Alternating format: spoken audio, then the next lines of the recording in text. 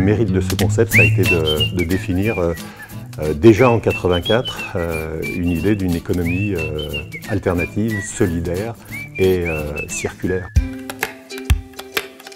Aujourd'hui, on est entreprise d'insertion. Dans ce cadre-là, on a un objectif, donner un vrai poste de travail avec un vrai salaire, c'est-à-dire qu'on a des objectifs de placement et d'accompagnement des personnes une fois qu'ils sont passés chez nous. Alors il y a effectivement un monde entre la petite activité montée il y a, il y a 35 ans et puis aujourd'hui où effectivement on récupère entre 25 et 30% des déchets d'équipements électriques et électroniques en France. C'est une consommation excessive. Alors nous, ça nous donne euh, l'opportunité de monter notre activité, mais le constat, c'est quand même des flux qui sont énormes. Je suis optimiste. Ben, non, je pense qu'il faut être aussi un peu pessimiste pour se dire qu'il y a des choses qu'il faut changer, qu'il faut améliorer.